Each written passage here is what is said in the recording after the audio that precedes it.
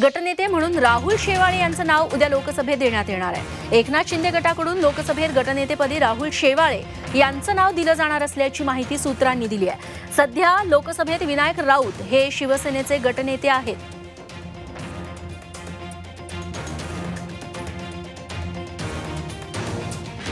तेव्हा आता संसदेत नेमक्या काय घडामोडी घडतायत ते बघावं लागेल. पावसाळी अधिवेशन सुरू आहे आणि गटनेते म्हणून राहुल शेवाळे हे शिंदे गटाकडून गटनेते पदासाठी त्यांचं नाव दिलं जाऊ शकतं. रामराजे शिंदे आमचे दिल्लीचे प्रतिनिधी आता आपल्यासोबत आहेत. रामराजे दिल्लीत शिवसेनेच्या गोटात दिल्लीतल्या राजकारणात सध्या नेमकं काय घडतंय?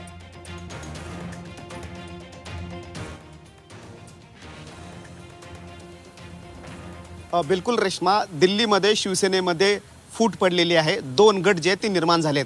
हो. जसं महाराष्ट्रामध्ये राज्यामध्ये परिस्थिती निर्माण झाली होती तसंच आता दिल्लीमध्ये म्हणजे गल्ली ते दिल्ली शिवसेनेमध्ये उभी फूट दिसून येते. संसदेचं आज पहिलंच अधिवेशन आणि अ, पहिल्याच दिवशी ही फूट स्पष्टपणे दिसून येते. एकीकडे अ, जे द- बा- बारा ते तेरा खासदार आहेत शिवसेनेचे. ते मात्र नॉट रिचेबल आहेत. ते एकनाथ शिंदे यांच्यासोबत बैठक घेत आहेत. तर दुसरीकडे आपल्यासोबत किती खासदार आहे याची चाचपणी करण्यासाठी आता संजय राऊत यांनी बैठक बोलवली आहे घरी. आणि या बैठकीला विनायक राऊत हजर आहेत. ओमराजे निंबाळकर हजर आहेत. संजय जाधव हे सुद्धा हजर आहेत.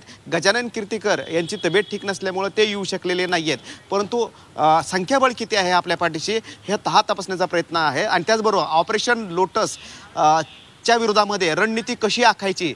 हे सुद्धा पहा पा- पाहिले जात आहेत. तर दुसरीकडे आज आजच आज संध्याकाळी किंवा उद्या सकाळी जो एकनाथ शिंदे यांचा गट आहे खासदारांचा त्यांच्यातर्फे एक संसदेमध्ये पत्र दिलं जाऊ शकतं. आणि. गटनेते आणि प्रतोदपती म्हणजेच की व्हीप पदी नवीन नियुक्त्या ज्या आहेत त्या केल्या जाऊ शकतात. आणि त्यासाठी महत्वाचं काय तर संख्याबळ असणं. त्यामुळे एकनाथ शिंदे गटाकडे अठरा पैकी किती संख्याबळ आहे हे. पाहावं लागणार आहे. आणि जर तेरा खासदारांनी जर हे पत्र जर दिलं तर मात्र मोठा फेरबदल होऊ शकतो. आणि एक भूकंप शिवसेनेमध्ये एक झटका जो आहे मोठा तो संसदेमध्ये लोकसभेमधून लागू शकतो. निश्चित तेव्हा आता संसदेत नेमक्या काय घडामोडी घडतात त्या अनुषंगात त्या अनुषंगानं राज्यात नेमकं काय काय घडतं या सगळ्याबद्दलचे अपडेट्स तुमच्याकडून जाणून घेत राहू. तुर्तास धन्यवाद या तपशिलांबद्दल. छत्रपतींचा विचार म्हणजे